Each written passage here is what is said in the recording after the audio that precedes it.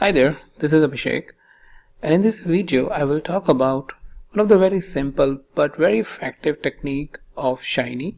So if you have seen my previous videos, most of the time I have been using some filters which are changing the data as soon as I am doing the selection and which is called reactivity. But here in this case as you can see nothing is changing. So it's basically a video about how we can control the reactivity of Shiny and basically enable the user that whenever the user is done doing the selection suppose if you have five or three or eight different types of selection that all the selections once they are done the user will select or click on this button which is update and all of your data is updated or your chart or your dashboard is updated with with those filters. So how it helpful? It is helpful in enhancing the user experience in such scenarios where you have some complex structure for doing the filtering and you would really not want that with every selection your dashboard is changing.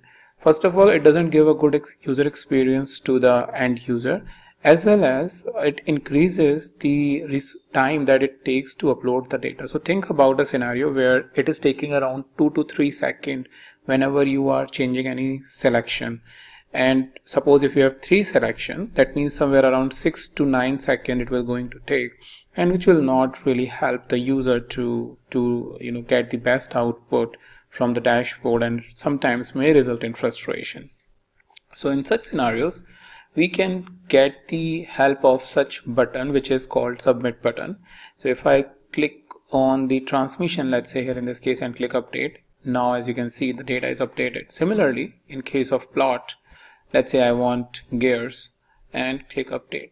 Now my chart is updated. So the idea is that uh, we are giving the control from reactivity to this button and we will going to see how simple and how easy it is. So if I go back to my code and if you have seen the code uh, by looking at previous videos we just had the select input which is nothing but this drop down box.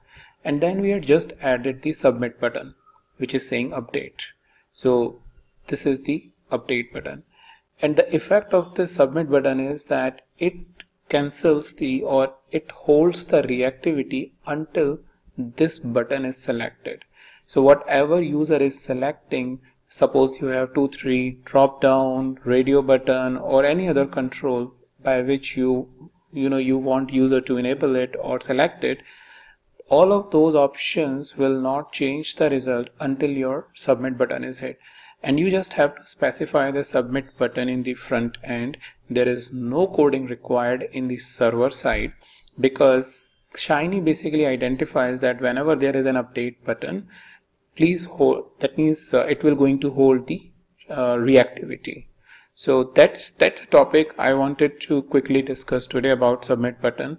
So whenever you have such scenarios where you want to hold the reactivity and you want the user to select all the filters, then and then update the result, then you can use the submit button over here and give a good user good user experience to your end user. So that's about it in this video and I will meet you in the new video, the new topic.